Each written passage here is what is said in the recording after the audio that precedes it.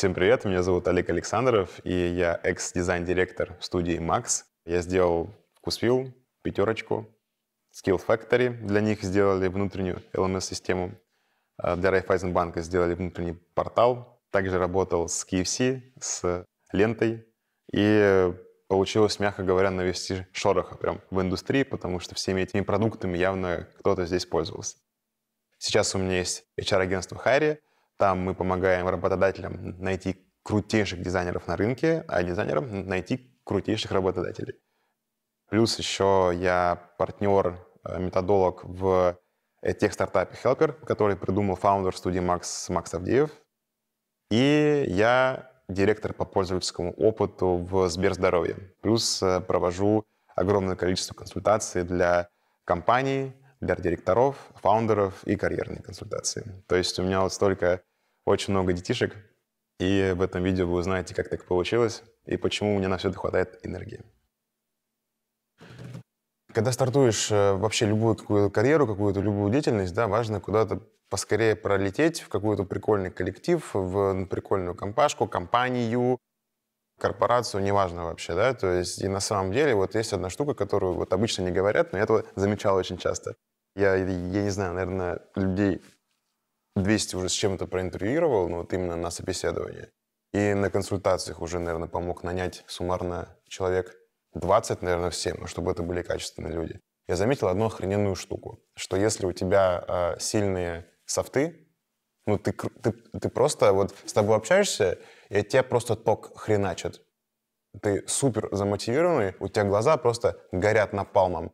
У тебя что-то может проседать, но люди замечают то, что ты выплывешь. То есть э, тебя просто засунуть в боевую среду на месяц, и ты сделаешь больше, чем тот, кто просто хардами напичканный, но типа максимально не заряженный. Поэтому вот лучше поработать над тем, чтобы просто вот типа сесть так, подумать, ага, где вот у меня больше всего прет, то есть где вот больше всего тока, для каких компаний, для каких э, продуктов, для какой именно ниши дизайна, да, вот, вот этому прям время уделить. И там даже можно заметить то, что вы начинаете по-другому про это рассказывать. То есть, вот не знаю, э, ты думаешь, там, граф-дизайн, UI, UX, исследования или продукты, или что-нибудь еще, иллюстрации. Просто посмотрите, типа, как вы ну, реагируете на это сами, как вы про это думаете, рассказываете. Где у вас больше начинает дребезжать, там и лучше вообще искать какие-то первые проекты, потому что люди, которые будут с вами взаимодействовать, они это будут все-таки чувствовать как-то. И даже если вы где-то там по хардам, повторюсь, проседаете, они у вас накопятся быстрее, потому что у вас там энергии больше. Это очень такая на тоненького вещь, немножко такая про ощущение, но вот она очень важная. Потому что если энергии меньше, то хоть ты там убивайся времени, вот как раз сиди допоздна, все изучай и так далее. Но ты будешь делать, потому что надо не тебе. Из-за этого будет все идти медленнее. Поэтому вот перед тем, как э, искать какое-то место, кому-то писать за проектами, ходить на собеседование, сперва нужно вот этот самый разговор с собой провернуть. Он может длиться час, может длиться день, два, но вот его нужно пройти. Ну, потому что иначе может энергия впустую слиться. Такая вот немножко абстрактная вещь, но вот я прям супер замечал эту историю и за собой, и за теми, кого нанимал. У меня кейс был прикольный. Я когда вот пришел в первое такое прям интерфейсную студию, она называлась Great Simple, там работал дизайн-директор, ну, он потом стал дизайн-директором Arrival, Артем Тарасов, довольно известный чувак в дизайнерском комьюнити. И вот мы с ним работали. Меня ребята взяли, прям вот цитата из переписки можно, наверное, где-нибудь найти, что у тебя просто глаза горели просто дико. И ты что-то рассказывал, рассказывал, рассказывал, мы уже даже потом слушать перестали. Но ты просто очень пылал. И было понятно, что вот эту энергию просто направляешь, и все будет топово. Работы были, ну, просто нормальные, типа без вау. Мы там, ну, хотели бы кого-то посильнее тогда, но я что-то тогда написал им и сказал, когда можно будет пособеседоваться. Они сказали, типа, когда ты можешь. И я написал, а вот давай на обеде. Типа пишу в 10 утра, обед там в 2 часа. Типа давай в 2 часа к вам подскочу, прям сразу же. А я в этот момент сидел на текущей работе. Я типа отпросился на обед там. впервые. Я на обед обычно не ходил, я ну, фигачил постоянно. А тут такой, все, я на обед и пошел пока к ребятам. Я еще им это рассказал, что я так сделал. И они такие, ну, вообще, капец просто. И это просто моя история, но я вот таких историй много знаю. Сейчас просто не буду их как бы наваливать еще, но это дает очень хороший ток на старте. Поэтому вот в этом важно разобраться. Ребята мне очень понравились, и я вот ради них хотел прям это удивить конкретно. То, где тебе очень сильно что-то нравится, и это прям супер искренне, то там можно расти очень сильно. Вообще в огромные масштабы. Просто вопрос понять вот этот корень. Точно ли мне именно эту сферу, именно эту нишу, не делаю ли я сейчас того, что на самом деле не мое. Вот это вот проходишь, и дальше неважно. Там есть еще, конечно, такой более бизнесовый типа взгляд, когда ты смотришь так, какова доля рынка заказа аналитических услуг, какова доля рынка заказа а, дизайн-услуг. Смотришь, где больше рынок, смотришь, где есть хорошая корреляция по росту, просто, ну, ну типа ходишь по всяким аналитическим сайтам, новостным сайтам, смотришь, что здесь происходит, потом смотришь, э, если есть доступ, типа анализ оборота конкурентов в этой среде, там топ-10, например, бизнесов, которые в этой среде занимаются, сколько у них примерно обороты, если они общедоступны. И принимаешь решение таким уже сухим бизнес- vision ом, что ага, это интересная ниша, я туда пойду, у меня еще есть какое-то, например, нечестное преимущество по навыкам, да, чтобы там быстрее выстрелить. Есть спрос, растущий рынок, много денег, там топ-3 компании там зарабатывают суммарно 30% рынка, то есть остальные не заняты, можно еще их как-то пооткусывать. Это уже вообще другой mindset абсолютно.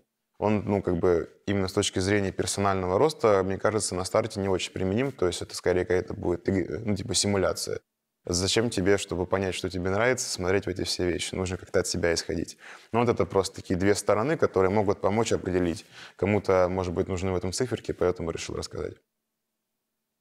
Мне кажется, спустя весь вообще мой опыт, что вот как раз когда связка есть дизайна вообще любого производства, неважно, там, пусть это будет не дизайн, а код, или пусть это будет, не знаю, производство мебели, там, чего-то вообще, неважно. Просто, скажем так, что э, любая связь производства и ну, дизайн — это все-таки производство. И бизнес-ценности — чем сильнее вот эта сцепка, да, вот этих вот двух историй, тем сильнее сцепка с реальностью вообще всего, что вы делаете. Потому что если вы улетаете в какой-то сильно арт, сильно творчество, ну, что касается дизайна, да, то у вас продукт, он э, не покупается, потому что вы что-то делали только, что кажется вот вашей команде классное. И все, вы это никак не стыковали с реальным миром. Второе, деньги не заработались, потому что, соответственно, не было стыковки с бизнес-частью, а, проект не запустился, работа пошла в стол, команда выгорела. Не прикольно. Если есть сцепка с бизнесовой частью, то команда супер понимает, нафига она это делает, она супер понимает, что делать, для кого делать, что с большей вероятностью выстрелит, что с меньшей вероятностью выстрелит. В итоге это запускается классно. Я часто слышу, что многие работы вообще не выходят в прод у дизайнеров до сих пор. И как раз сцепка с бизнесом и понимание этого всего, оно позволяет выкатить работу, какой-то проект, продукт, неважно, да, и потом получить бизнесу за это деньги, чтобы бизнес потом дал деньги производству, и потом это все еще развивалось. Не знаю, вторые итерации упаковок, вторые итерации дропов одежды, следующие итерации запуска сайта, приложения. Инвестиции получает, команда усиливается, эту команде потом дают деньги на развитие, деньги на ресурсы – чтобы подключать новых дизайнеров еще более сильных, хантить классных специалистов. Это происходит только в связке с, с бизнесом и с пониманием ну, целеполагания глобально и бизнесового целеполагания. Если вот улетать э, куда-то в супер-арт в космос, то теряется сцепка с реальностью, вот, именно в дизайнерском производстве. Я сейчас не беру художников. Это абсолютно другой сегмент вообще. То, соответственно, так будет сложнее расти, и так будет сложнее узнавать мир даже на самом деле, потому что это вакуум создается. И э, твои работы тоже чуть меньше доходят до реальности. Поэтому тут важно прям, вот это я сейчас немножко так нагнал даже тучи какой-то, может быть. Но это чтобы реально сцепка вот эта, она начала работать у тех, кто посмотрит это видео. Это очень важно. Типа, если вы дружите с э, бизнес-полаганием, с вообще вот этим взглядом, какую это даст реальную пользу, какой это даст выхлоп, то у вас начинает тоже все цвести. Чтобы чуть более бизнесово думать э, в создании каких-то своих проектов, да, или когда вы делаете проекты на заказ, это первое. Нужно скачать себе модельку BM Canvas либо Lean Canvas. Это такая структура, которую разработал один стартапер очень давно еще. И она позволяет ответить на ключевые какие-то вопросы про бизнес. Это какое преимущество у него есть нечестное по отношению к рынку, какую долю оно занимает, что вы даете пользователям, какая у них боль, ну, чтобы сметчить, да, то, что вы даете, мэчится с их болью. Откуда вы взяли, что эта боль реально есть, как вы будете реализовывать ваш проект и что-то еще. Я не помню. Сейчас могу сказать какие-то примерные истории, да, ну, там это все более структурно. Если вы начнете с вот этой темы, с BM Canvas либо Lean Canvas разбирать любой проект, то все, вам уже станет намного-намного проще. Вторая история — это пиратские воронки. AR называется, типа. Вот. Пиратская воронка — это привлечение, активация, удержание, возвращаемость. Это что дает понять? Что у любого продукта да, есть этап, когда вы привлекаете к себе трафик, ну, потому что дизайнеры, бывает, они делают сайт, и они не думают, что откуда вот на него будут идти, кто на него будет приходить, какая будет там коммуникация идти. Вот это уже вот очень хорошо будет, если вы поймете. То есть привлечение, да, потом активация, то есть нужно активировать в какое-то всегда целевое действие. Либо заказ услуги, либо заявка, либо подписка на канал, неважно, всегда нужно бить вот в эту одну штуку, чтобы у вас активировался каким-то хреном пользователь, а не походил по сайту, посмотрел, что он красивый. Третье, нужно его удержать, чтобы он оставался в сервисе, либо в продукте, либо в услуге, неважно. Еще вот важный пункт, чтобы он оплатил услугу максимально удобно во всех возможных смыслах. И далее, чтобы он продолжал покупать эту услугу, либо рекомендовал эту услугу другим, чтобы весь путь снова продолжался. Вот эту сцепку, если вы поймете и будете применять к своим проектам, то уже вот вы будете более бизнесово к ним подходить. Называется пиратская воронка. И последняя история — это просто почитать, какие бывают метрики. Вот серьезно, просто можно вбить типы метрик. Там будет MAU, DAO, Retention, Conversion Rate, bounce rate, э, еще куча-куча всего, Nordstar метрика, пу-пу-пу-пу, сейчас не буду наваливать, но просто метрики, какие бывают, пошел читать.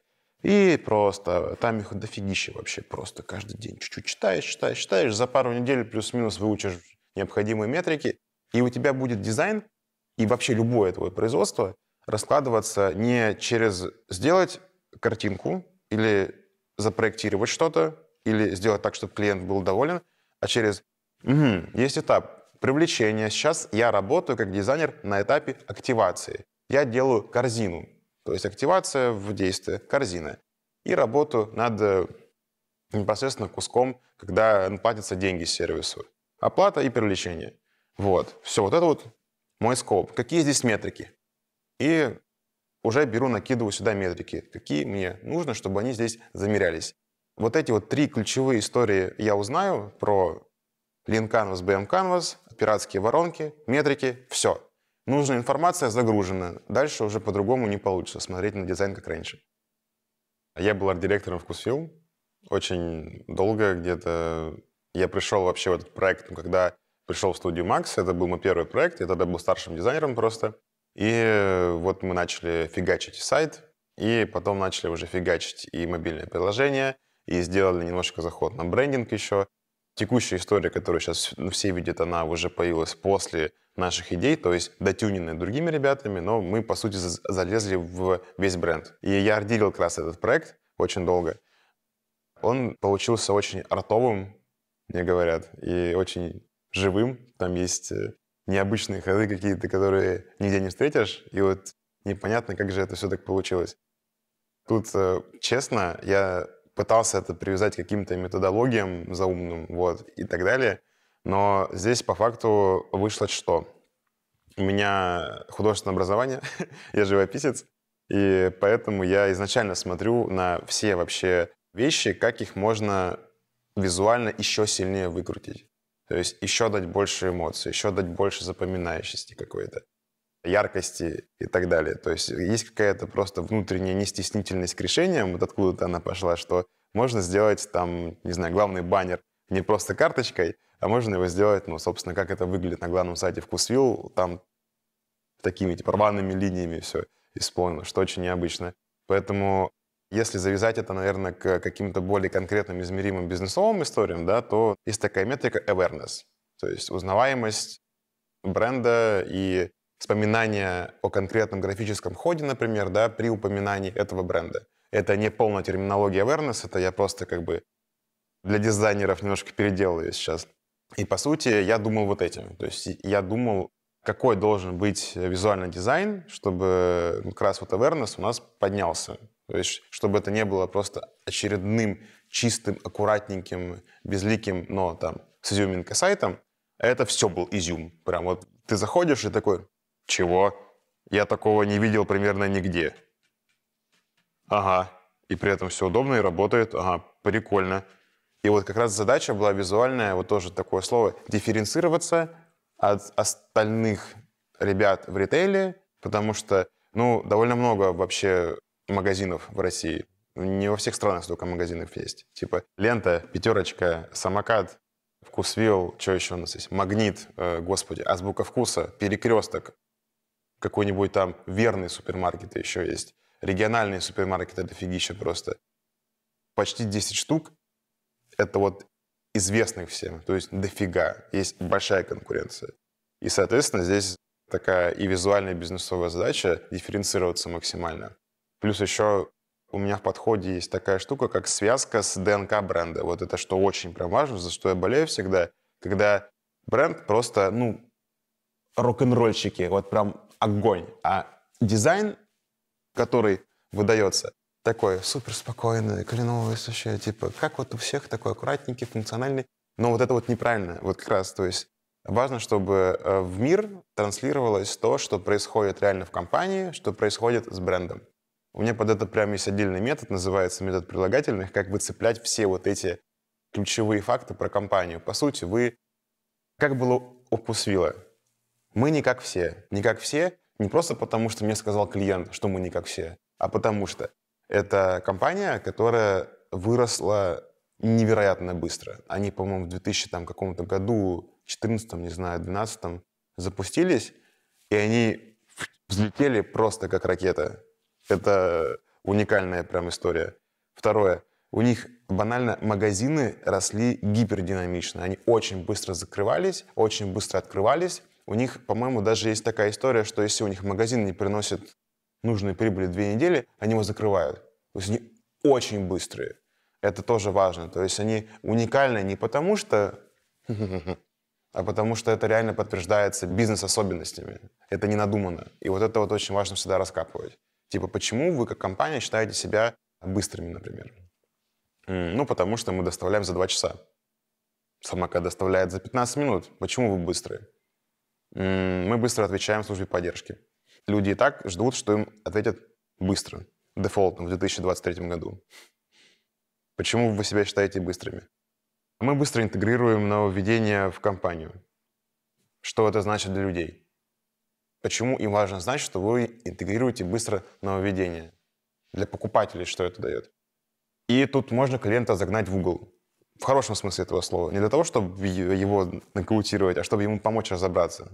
Возможно, быстрое — это просто ну, конкретно фаундер хочет, чтобы мы так считывались. Зачем? Непонятно. Маркетинговых активностей под это никаких нет. Весь рынок э, типа не говорит им, что нужно выделяться именно скоростью, они не имеют этой скорости, зачем это вообще вкладывать в визуал? А вот у Вкусвилла вот были эти все особенности. У них было полное право быть уникальными. Поэтому нужно было это выкручивать. И туда дал много фокуса. Вот. Если бы это был бы какой-то другой бренд, я просто так не давал бы фокуса этой задачи. Не выставлял бы то, что нужно повысить, короче, узнаваемость. Ну, потому что там ничего особенного нет, а что повышать узнаваемость? Как что повышать узнаваемость у пятерочки? Ее и так каждая собака знает, она во всей России, вкус не во всей России прям есть. И пятерочка очень массовый бренд, очень массовый бренд. Поэтому там внедрять какие-то супер уникальные визуальные ходы, ну, можно, ну, а зачем? Какая ценность? То есть, если его даже озвучить, нужны ли вкусвиллу визуально уникальные ходы? Нужны ли пятерочки визуально уникальные ходы? Вот просто так, ну, логически покрутить. Как будто бы наталкиваться мысли, что вот уже пятерочки, они особо не сдались. Если сказать клиенту, то давай сделаем тебе не уникальный дизайн, и чтобы он просто работал, это не продаст, конечно. Тут вопрос в объяснении, да, подхода. Например, э, у меня был кейс, когда запускали проект, который просто весь создан, чтобы просто быть технически удобным. И аудитория, которая требует в первую очередь технической удобности. И здесь э, можно заменить историю про не то, чтобы ваш бренд, ваша компания была безликой, да, потому что ничего уникального нету, а сделать чистый, аккуратный дизайн, чтобы с ним было удобно работать и сфокусироваться на удобстве и визуальной простоте. Это то же самое все, что и типа безликость. Ну, можно так считать, например, да? Но вопрос просто, как ты к этому относишься? Ну, вот на уровне именно постановки себе задачи как дизайнеру, да, и подачи э, целеполагания клиенту. Вот. То есть э, в примере, когда в компании не нужно ничего визуально такого надумывать, да, потому что ну, она делает довольно утилитарный продукт, чисто функциональный, под сегмент, которому это не надо, ну, всякие там визуальные приколы не нужны. Просто делаешь аккуратно, чисто и максимально функционально. Вот, все. Это тоже можно сделать очень хорошо. Apple максимально чистый, аккуратный и функциональный по дизайну. У них нет э, типа обклеенного стразами или там какой-то супер странной формы телефона, как Nokia раньше были. Поэтому этот продукт, например, тоже отвечает таким запросам. У меня есть HR-агентство Харри, и мы там помогаем найти дизайнерам крутую работу, а компаниям крутых дизайнеров. Плюс я еще в студии Max был дизайн-директором и еще HR-директором. То есть я расширил команду с где-то 10-8 человек, не помню, сколько нас было тогда, до 60 плюс, то есть x6 почти. И э, вплоть до того, что я все это разбил потом на методологии, и мы потом обучали этому ребят. То есть как нанимать эффективно, быстро, крутых людей.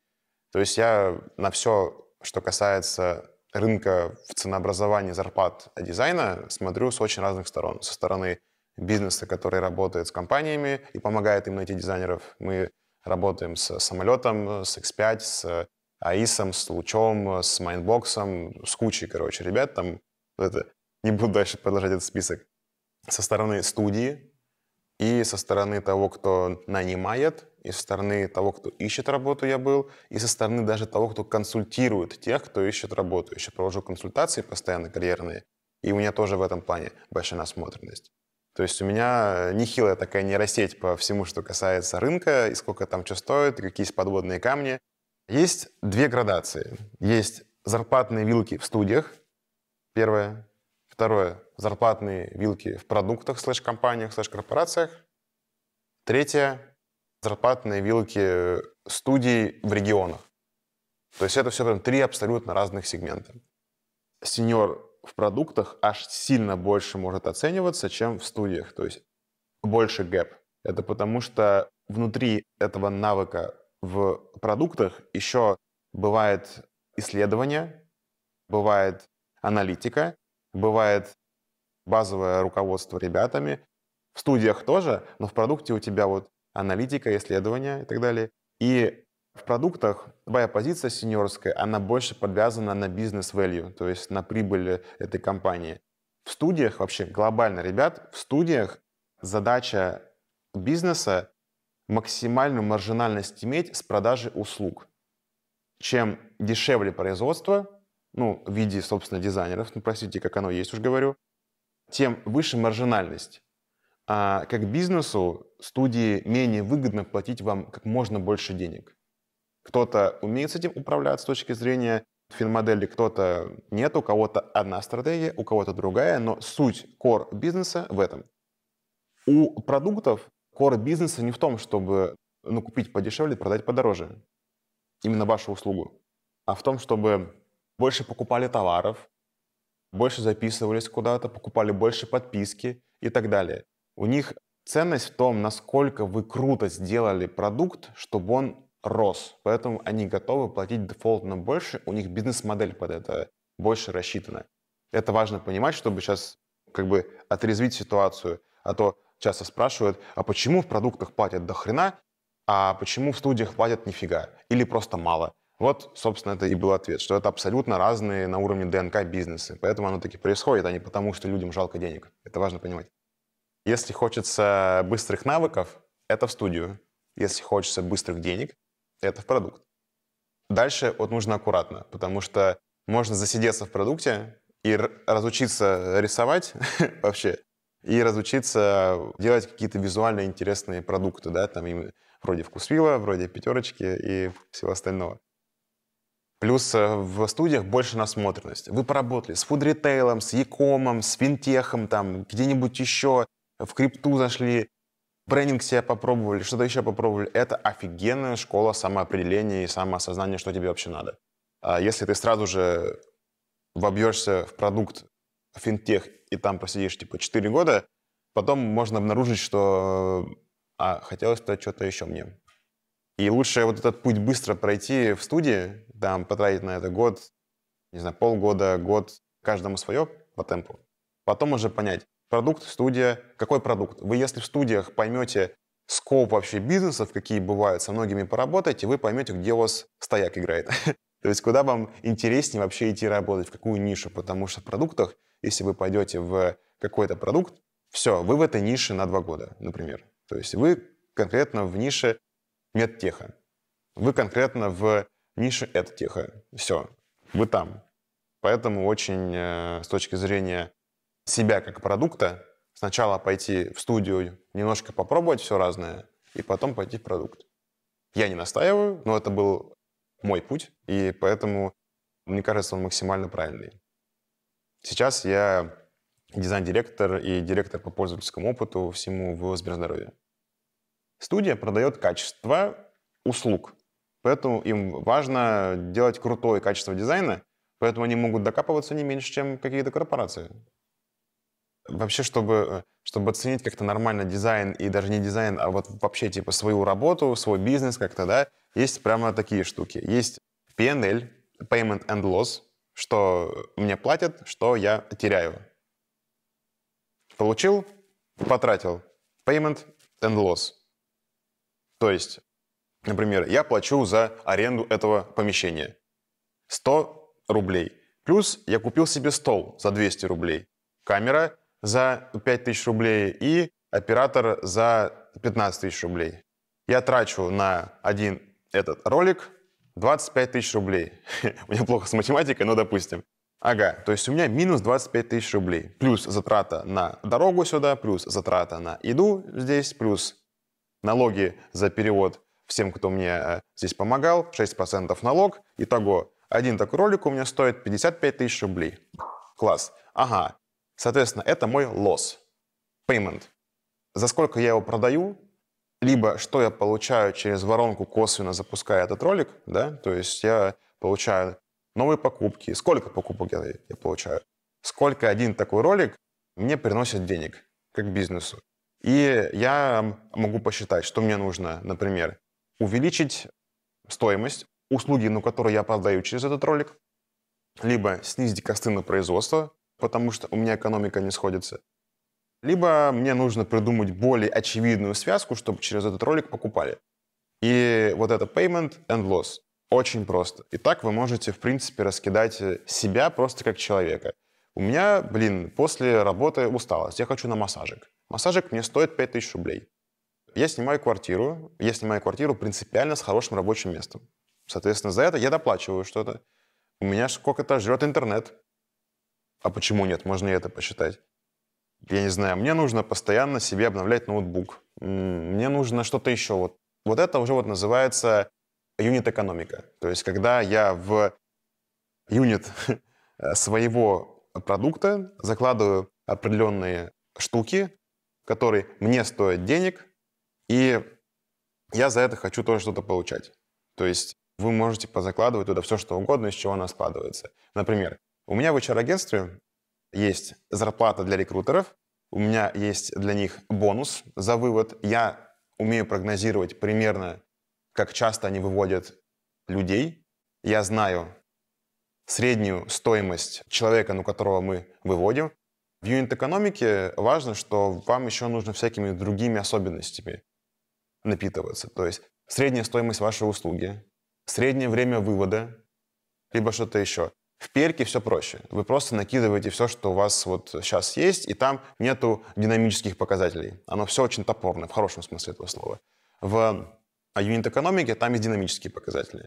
Если представить, что мы сейчас в табличке, то у меня может быть с июня по июль средний чек меньше, потому что просто меньше заказов, потому что все отдыхают, все в отпусках. То есть у меня юнит-экономика летом будет чуть другая. Так вот, в юнит-экономику я закладываю вот эти вот эти факторы, плюс закладываю, очевидно, налог, плюс закладываю потенциальный процент под увольнение сотрудников там через какой-нибудь там год, ну, потому что все меняют работы, не знаю, что-то, короче, происходит, я вот это типа закладываю в будущее. О, давайте на простоте. Образовательный продукт. Я еще партнер в тех стартапе Helper, мы там учим дизайнеров дизайну и учим трудоустраиваться. И там у нас, например, заложен процент отказов. То есть процент э, возвратов образования. То есть вот ребята купили, и какой-то процент по нашей статистике хочет деньги обратно. Это я тоже закладываю в юнит-экономику. И таким образом у меня формируется стоимость продукта. Я тут еще могу всего много нафаршировать, но вы уже запутаетесь. Типа, вот это вот у меня все есть, и я вижу, сколько у меня будет отнимать ресурса финансового эта задача, и таким образом я могу скалькулировать, сколько я хочу за это. И там начинается прекрасная вещь – маржа. То есть это когда ты видишь, что тебе все-все-все стоит, не знаю, 70 тысяч рублей в месяц, допустим, или 170, или 770, неважно. Значит, ты за это хочешь получать, чтобы тебе классно жилось, на 50% больше. Вот 50% маржу я хочу. Класс. Итого у тебя услуга стоит из твоих трат определенную сумму. То есть все-все, что я закладывал в пельку, либо в юнит-экономику, мне стоит 100 тысяч рублей, я хочу 50% маржу, значит, продукт я свой продаю за 200 тысяч рублей. И задача, это уже следующая история, конечно, но задача упаковать так продукт, так сложить маркетинг, продажные воронки и все остальное, чтобы люди покупали за эти 200 тысяч рублей. Либо тебе нужно изначально еще уходить, если на исследование, протестировать при такой юнит-экономике, будут ли у тебя покупать за 200 тысяч рублей. Или ты перенакидал дофига всего туда, и ценность продукта не такая сильная, чтобы обеспечивать это производство. И вообще туда идти не надо, не нужно этим заниматься. Поэтому вот такую процедуру можно проделать. Это все звучит как какая-то техническая, архитектурно-финансовая сложная штука, но поверьте мне, если вы попробуете хоть раз с собой такое проделать, либо со своим каким-то делом, то у вас все станет супер прозрачнее, супер понятнее, и вы сцепку с реальностью заимеете наконец-то. Потому что вы, сколько я трачу, сколько получаю, сколько стоит моя работа. Посчитайте. Это все математизируется. Вот прям сегодня сядьте, если вы дизайнер, то сколько я трачу на то, чтобы работать? Вообще, вот, ну как вам такая постановка вопроса? Сколько я трачу денег на то, чтобы просто выдавать то, что я выдаю за свои услуги? Счет за электричество даже можете туда припихать. Вообще все просто посмотрели, и так у вас ну, поймется какая-то стоимость вашей услуги минимальная. И про маржу уже говорил.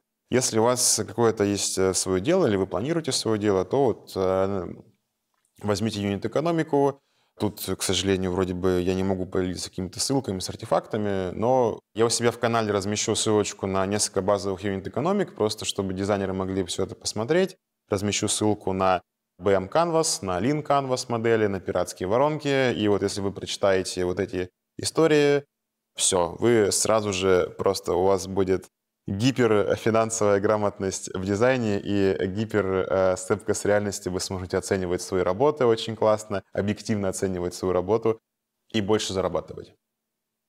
Типа, когда какую-то идею предлагаешь, да, там, по тому, что нужно больше денег, нужно больше, не знаю, чего-то еще, просто нужно врубить режим калькулятора на сухости максимально некоторые вещи, знаешь, поднапитать в себя, поднапитать в свою идею, накачать ее типа, всякими пруфами и силой, чтобы ее просто, ну, объяснить максимально понятно, и максимально понятно она прошла. Что всегда есть? Это конкретно сколько принесет денег, какую метрику поднимет, почему это важно для бизнеса или для пользователя, на основе чего ты решил, что это важно для бизнеса или для пользователя. Какая у тебя была дата, ну, в смысле big data, типа данные, чтобы этим всем обзавестись. И почему ты уверен или уверена, что вот эти твои идеи реально повлияют на то, что ты сказал, на что это повлияет.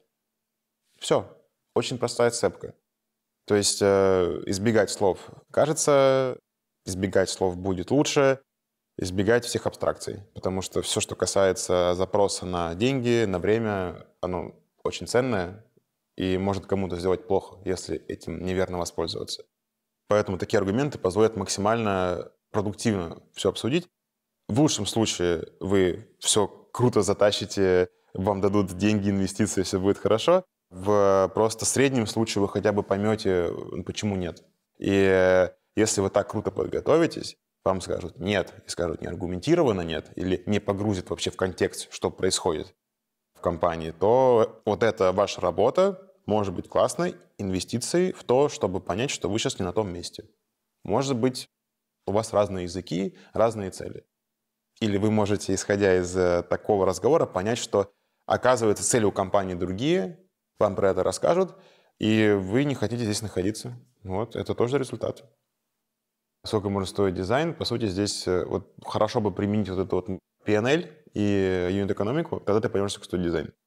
Мобильное приложение можно сделать за 700 тысяч рублей. Типа вообще рабочее. Вот.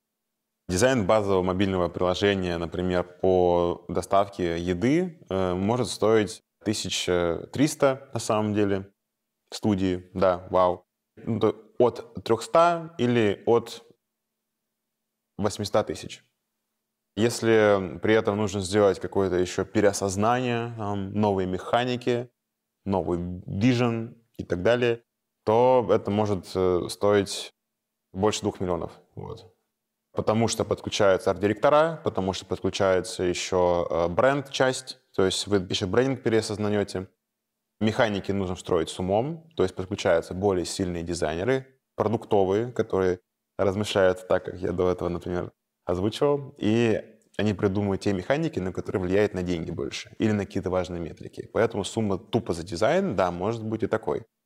Тут еще важно, что я озвучиваю именно такой first launch, то есть первый запуск. Все, вы сделали, а далее запустились. Дальше же продукт развивается, и дальше можно ежемесячно делать дизайн на 300 тысяч рублей, на полтора миллиона рублей, в зависимости от объема команды. И больше. Можно на десятки миллионов. Ну нет, на десятки миллионов, честно говоря, нельзя. Вообще дизайн, он рисуется очень быстро, на самом деле. Он потом разрабатывается очень долго. Поэтому все, что касается дизайна, оно довольно быстрое, и если брать производственную нишу в IT, то не самое дорогое. Поэтому если вы хотите много-много бабок, то делать свою студию — это не то. Там очень близкий потолок. А в разработке потолок куда-куда больше. Каждый переход на новый уровень в любой сфере, он всегда связан с реакцией мира на нового тебя, так скажу. То есть либо мир начинает реагировать иначе, это значит, что ты тоже стал какого-то другого уровня, либо не начинает. И есть первая часть, это которая как себе объяснить, что я стал Олег 2.0, да, типа новый grade, новый просто какой-то mindset, новый уровень, и как это объяснить э, там, работодателю либо окружению. Вот. По сути, второго и не надо, если вы, ну, типа, точно это приобрели и поняли. К чему я? То есть э, я просто часто замечал, когда ребята топчутся на каком-то одном месте, один говорит, что я middle, другой говорит, что я senior, третий говорит, что я вообще артдир, да кто я вообще такой? И поэтому тут важная очень вот эта часть про самоопределение, да, я про нее расскажу. Второе, это чисто ну, хардскильно, как мне получить эти навыки и как мне получить э, реакцию от мира. что я вот реально добился нужного результата. Там все очень быстро, просто, поэтому в конце. По поводу вот этого самоопределения. Есть метод, э, я его называю медальки. Это когда я понял, что вот я что-то сделал, например, я себя считаю сеньором, когда я сделал 15 концепций, и мне на эти 15 концепций мой арт-директор сказал, Толя, офигенно. Вот для меня это моя медалька. И мне нужно ее выписать прям. Сколько наград, сколько концепций, кто сказал, как часто он, он мне это сказал. И тогда я начинаю как бы напитывать э, просто ну, самоценность. Вот. Вот этот список может быть огромным. Я раньше заикался очень сильно. Вообще, я прям говорил п п п п п вот так вот. И мне было важно получить определенные медальки при коммуникациях, что я больше не заикаюсь, а потом, что я говорю хорошо, что у меня хорошая дикция, потом, что я харизматичный, мне нужно было получить медальки, чтобы просто из вот этого уровня выйти на офигенный уровень, либо хороший, судить вам. И я прям себе выписывал, куда я хожу, что я делаю, на какие я созвоны вписываюсь, что я должен услышать от мира, чтобы подтвердить, что все хорошо. Так у меня начала напитываться самоценность, и таким образом я стал понимать, что окей, по речи я уже не стажер, не джуниор, а уже ну, там, Глеб Кимидов, потом там сеньорчик и так далее. То же самое может быть к навыкам применено. Я, мне говорят, что я плохо проектирую, например. Соответственно, проектирование — это что? Мне нужно научиться делать информационную архитектуру, работать по jobs to be done, работать с какими-то данными, чтобы, исходя из них, у меня получалась архитектура. Плюс э, мне нужно исследовать, чтобы проверять, что я запроектировал реально хорошо и понятно. Пам-пам. Значит, мне нужно сделать как минимум 2-3 информационной архитектуры, сделать 2-3 больших flow мобильного приложения. Большое для меня мобильное приложение — это 200 плюс экранов. И вот так вот себе нарезал эту колбасу. Итак, вы для себя понимаете, что значит, когда я уже стал Олег 2.0 или там senior или артдир. Но тут сложно наметить путь. Поэтому переходим ко второй части. Это как раз те, кто помогают откалиброваться, что я реально джуниор, я реально сеньор, я реально арт-директор и так далее. Почему я так смело сейчас говорю то, что говорю, про то, что я хотел сказать, что тут никак без каких-то помощников, вот, потому что у меня сейчас в жизни есть тренер, у меня есть э, психотерапевт, мы с ним уже редко созваниваемся, все, все классно, но вот, то есть у меня как бы есть такой бади, вот. У меня есть консультант по личным финансам, и у меня еще есть просто коуч, вот. Еще есть массажист. То есть э, все эти люди мне помогают с разных сторон посмотреть на меня, на мое тело, на мой опыт и на мое какое-то будущее. И на то, э, что сейчас у меня страдает. Поэтому я постоянно прохожу верификацию, что сейчас и куда нужно идти. Я это считаю прямо как обучение и как очень важная история, которая помогает быстро идти. Потому что когда ты в себе замуровываешься, ты что-то не видишь и теряешь сцепку с реальностью. Разные вещи постоянно кого-то слушать и быть на поводу чужих мнений и советоваться с экспертами и из них, из их слов выявлять то, что тебе близко, и то, с чем ты согласен. Это сейчас две очень разные вещи для слушателей, да, чтобы это не превратилось в то, что вы себя просто засовываете кучу чьих-то мнений. Это разные вещи. Все. Такая ремарка прошла, и поэтому важно, чтобы у вас здесь был какой-то вся наставник. А если у вас нет наставника, если вы идете чисто в соло, у вас нет ни арт-директора, ни старшего, вы в комнате самый лучший, вот это классическое, да, то нужно оттуда убегать, либо нужно в той комнате, где вы находитесь, извне брать себе какого-то наставника. Сильнее вас не всегда на, на голов. Это могут быть чуть-чуть посильнее вас ребята на одну голову. И таким образом вы будете расти.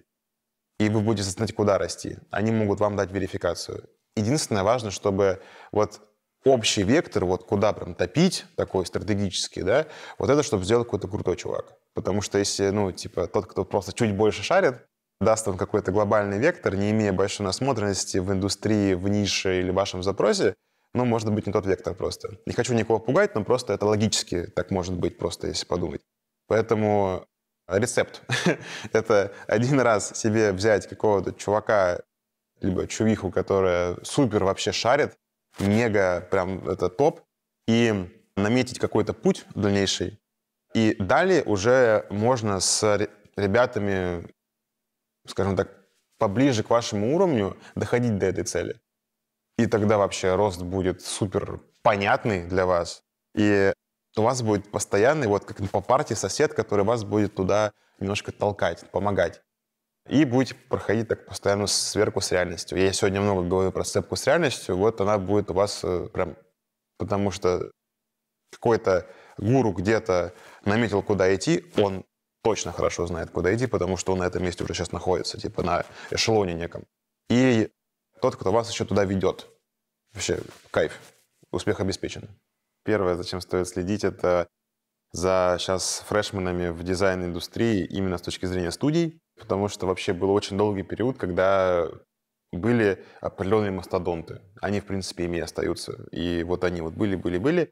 И только, наверное, последние пять лет вот начали просыпаться молодые ребята, делать какие-то новые студии крутые, которые меняют индустрию, меняют рынки. И надо за ними приглядывать. Это студия Макс, конечно, как я не могу ее не назвать. Это студия Крауч, студия Луч, студия Цедра, ну, Прагматика еще, да, ладно, вот еще Прагматика. Это прям вот э, свежевыпеченные сочные пироги, за которыми сейчас стоит следить, и где очень много шороху наводят ребята в индустрии, вот, поэтому вот это точно. И по поводу каких-то общих дизайнерских сервисов, это Helper, вот, потому что мы сейчас и трудоустраиваем ребят, мы реально лайфхакнули систему, как добиться того, чтобы устроить дизайнера. По поводу крутых лекций и так далее не буду говорить, там и так все понятно. И мы создаем именно это тех, то есть это не курс просто как курсы, да, там есть механики, где мы мэчим тебя с максимально подходящей вакансией, менторы, которые скорят твой текущий навык и говорят, куда тебе нужно расти, чтобы максимально быстро дойти до цели. И менторы тоже непростые из э, Тинькова, Яндекса, из Озона, Авито, из крутых очень компаний. То есть методология роста на прям конкретном паучке, мы его так называем, которая замеряет твой текущий результат на основе рынка, ну, который мы знаем, и метит путь к цели. Вот. То есть нетипичный продукт. Вторая история это а, я бы следил за человеком, который вообще не в дизайне. Я за ним просто слежу. Вот сейчас, на текущий день, на текущий год я им вдохновляюсь. Это Михаил Гребенюк. Это человек из сферы бизнеса. Если вы на него зайдете, вы можете подумать, что есть какой-то инфо-цыганский налет, но, пожалуйста, посмотрите в глубину и посмотрите его выпуски с разборами бизнеса других людей, вам очень классно перепрощет голову, вы начнете по-другому смотреть на себя, свое время, свои деньги и, и на мир. Вот. Очень классная история. Всем дизайнерам и не дизайнерам, и вообще людям рекомендую посмотреть это. Хотя бы несколько раз и понять их, не их. Но попробовать стоит. Третья история — это... Я не назову, что это то, куда стоит прям смотреть конкретный сервис, но это в целом поприсматриваться к всему, что касается психотерапевтических ну, каких-то сервисов, к сервисам, где есть наставничество и все около этого. Потому что э, я понял, что скоростью моего роста я обязан конкретным людям во многом. А в плане, что эти люди мне очень помогли и очень сильно меня раскрыли. И налаживание такой среды людей, которые вас раскрывают, это очень важно. Это может быть не только с точки зрения коллег, это реально то есть, ну, психотерапия, да. Это, кстати, еще пользуясь возможностью, у меня есть психотерапевт Крис, Кристина, она тоже очень сильно на меня повлияла и очень сильно помогла мне вырасти просто x, наверное, 5, просто по всем показателям. Поэтому я вот хочу отдельно обобщить этот, вот эту важную вещь, как работа со своим сознанием, со, своим, со своей головой, это может быть сервис Ясно, могу сейчас их порекламировать, не знаю, просто я не знаю, кто еще есть такой популярный. Ясно, Мета. Следите еще вот не за кем-то, а за своим вот типа моральным здоровьем. Это очень много вам даст потом. И в дизайне Я слежу за, за некоторыми ребятами в телеграм-каналах, и мне очень нравится, что они пишут. Это Антон Черногоров, это Влад Савин, это Макс Авдеев, э, это Илья Скопин, это Влад Воркель. Сейчас это тот список, который мне пришел в голову. Ребята, кого не озвучил, не, не обижайтесь. Это то, что мне сейчас прям реально из меня вышло. Как не выгорать, как работать в кайф, и чтобы для себя еще хватало денег, сил и всего прочего. Я был в невероятной жопе, я бы это по-другому не назвал, в плане морального состояния. Прям это на минус первом этаже. Очень сильно провалился, как раз потому что много фигачил, вообще ничего не замечал. Я как-то созванивался с Максом Десятых, и он сказал такую фразу, она мне в голову прям засела, то, что иногда нужно не рубить лианы очень активно, бодро, а на одну из них, блин, залезть и посмотреть, куда ты рубишь вообще. Она мне в голову прям очень хорошо запала, и я тогда занимался тем, что у меня было вот так вот две бензопилы, и я вот так вот рубил лианы постоянно.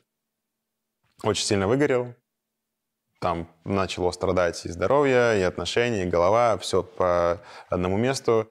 И я потом как раз вот нашел для себя, типа, терапию, нашел для себя каких-то коучей и так далее. И я понял, как у меня вообще начала просто геометрально разрастаться жизнь, то есть как бутон просто цвести. Это просто немножко предыстории, чтобы было понятно, где был и где сейчас у меня не было энергии вообще ни на что, кроме работы. То есть я просто работал. Не подработки, не какие-то эфиры, не телеграм-канал, не какое-то еще доп. свое дело. Я не мог вести абсолютно, нет энергии, ноль.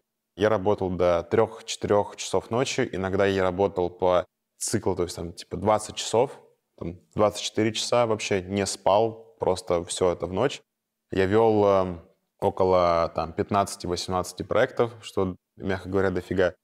И я, бывает, на звонке просто я что-то говорил, но я, типа, не слушал, что происходит даже, потому что я, у меня сил нету на впитывание информации. Соответственно, с э, отношениями тоже я прихожу, просто не вижу человека практически, потому что я его не, ну, не вижу в прямом смысле, я его даже увидеть не могу. Ну, в смысле, вот, вот, вот так вот, у меня все в работе прямо. В итоге еще было очень хреново, когда наступали выходные, потому что единственная возможность снять стресс было просто его запить. И вот это все, вот прям настолько грустная, утопичная картина, все это дало рост на самом деле. Я благодарен тому себе и тому периоду, и всем, кто подкидывал мне эти вызовы, потому что без того Олега не было бы сегодняшнего Олега. Но это та точка жопы, в которой я был. И потом я как феникс восстал из пепла. То есть сейчас у меня есть э, офигенная full-time работа с крутыми ребятами. Вот. У меня при этом хватает энергии на свое дело, на HR-агентство, действующее, приносящее деньги, все классно. Я еще партнер в крутом тех стартапе Helper, который Макс Авдеев придумал, офигительным просто. Я еще даю консультации, еще у меня есть энергия выступать здесь, еще у меня есть энергия отдавать очень много своим друзьям и своим отношениям. И при этом э, все вот эти сферы жизни, они прям цветут. То есть у меня не стало больше часов в жизни. У меня не стало третьей руки. Я такой же. И время у меня даже тратится меньше, и я меньше работаю. Я не работаю до трех часов ночи. Абсолютно все другое стало. И как раз э, мне что помогло вот из такой жопы перейти в такую цветущую среду, что ли, да, это терапия точно. Причем попробовать несколько терапевтов. Э, когда вы пошли к одному, он вам не подошел или что-то у вас идет медленно, сразу же меняйте. Нужно как-то очень быстро перезаряжать здесь. Вторая история — это я для себя выписал, э, где на всей неделе, либо всем месяце у меня максимально страдает энергия. То есть вот прямо, не знаю, звонок один, звонок два, звонок три, замеряем от нуля до пяти. Сколько баллов? Вот как задрот. Выстраивал всю эту историю и заметил, что у меня там на половине вообще задач опускаются руки, мне это делать неинтересно, но есть задачи, которые меня драйвят очень сильно. Классно. Я, исходя из этого, понял, что мне больше нравится делать, что мне меньше нравится делать. И стал просто переконфигурировать текущие договоренности, текущую жизнь по то, чтобы больше делать то, что нравится. Но я это замерил, то есть я это позволил себе увидеть вообще. Простой далее ход, убираешь, что не нравится, делаешь, что нравится, уже высвобождается какая-то сила и уже становится попроще. То есть вот набрать себе дофига проектов, потом из 15 плеваться 10, потому что просто у тебя энергии на них нету, так неправильно. Поэтому просто то, что уже тебе не интересно, кому-то передаешь, а занимаешься только тем, от чего кайф. И так кайфа прям больше, энергия тоже цветет. То есть меньше того, что надо, больше того, что хочется. Такая очень простая пропорция. Далее нужно себе оставлять всегда время на то, чтобы просто посмотреть, что происходит. Для этого у всех разные практики. Типа медитация, не знаю, посидеть в стену посмотреть и так далее. Я начал замерять, от чего я кайфую на выходных вообще просто. То есть вот степень выходного кайфа. Я для себя открыл бани, я для себя открыл массажи, я для себя открыл медитации, я для себя открыл стоять на гвоздях по 40 минут, по 20 минут. Изи. Я мог уйти в что-то другое, там, не знаю, какие-то там спортивные штуки, например, да, там, не знаю, заняться боксом. Но вот почему-то мне вот в этой всей медитативной истории прям очень все понравилось. Я тоже это замерять начал. Я много экспериментировал. Я ходил, пробовал там по паркам погулять, пробовал походить по каким-то еще историям, пробовал там на картинге поездить и так далее. Был прям вот, воспримите свою психику как продукт. Вам нужно запустить ряд гипотез, провести ряд экспериментов и провести замеры по итогам этих экспериментов, чтобы понять, куда вам лучше всего инвестировать дальше свое время и свое внимание и свою энергию. Допустим, это, ну, типа, в бизнесе это деньги, но у вас это внимание, энергия, сила, счастье и так далее. Вы провели эксперименты, увидели, где у вас лучшие показатели, где вы больше улыбаетесь, где вы больше, не знаю, жестикулируете, где у вас просто, как бы, не знаю, дыхание чище и так далее. И э, туда фокусируйтесь. И это сделать, причем важно и в рабочих моментах, и в личных моментах. Типа разделить. Это же баланс, да, всегда должен быть в этом.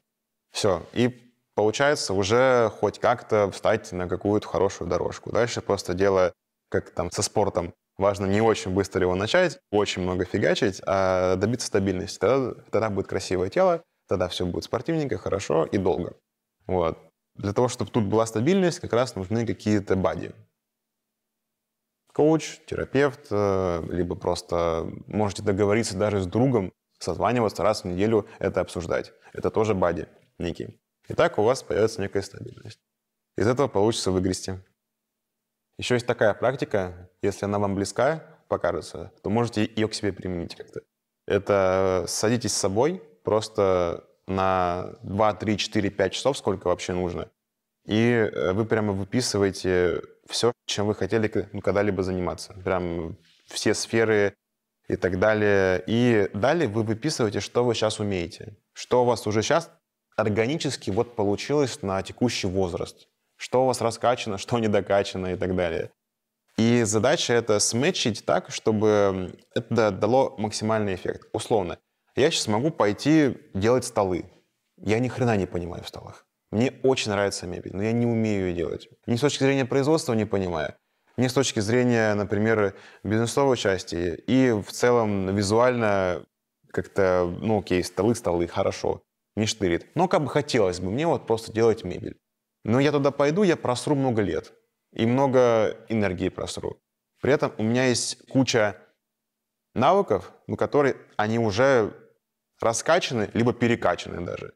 Я лучше в их зоне пойму, как это сроднить с вещами, которые мне интересны, вот найти точки стыковки, чтобы максимально быстро взлететь. Ну, потому что долгие вот эти взлеты, раскачки, они энергии много не дают. А когда вы вот ваше нечестное преимущество, ваши суперсилы нашли, как применить в каком-то деле или в каком-то сегменте, который вам очень нравится, то есть, э, по сути, рациональное с эмоциональным сроднили, у вас получается рост очень быстрый и кайф очень быстрый получается.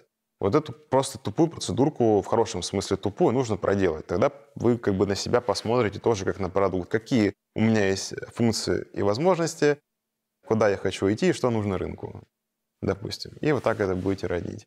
Можете найти вообще там, не знаю, 15 интересных гипотез, что вам стоит делать. И где вы сейчас будете прям эффективными. И пойти их тестировать потом, как продукт. Я вот так, собственно, открыл агентство по HR, и таким образом я понял, что мне интересно работать в образовательной истории, и таким образом еще я понял, что мне интересно работать в сфере медицины. И ко всем этим историям я нашел какие-то свои прям сильно перекачанные стороны, либо просто хорошо раскачанные, и просто начал их выдавать в мир. И такие сферы у меня деятельности получились. дизайн-директор и директор пользовательского опыта в Сберздоровье. Я даю очень много ну, консультаций и бизнесам, и арт-директорам, и людям просто по карьере. У меня есть HR-агентство, и я партнер в тех-стартапе Helper. Четыре очень любимых ребеночка, и меня для всех хватает энергии, и я вот прям понял, что этим хочу заниматься сейчас.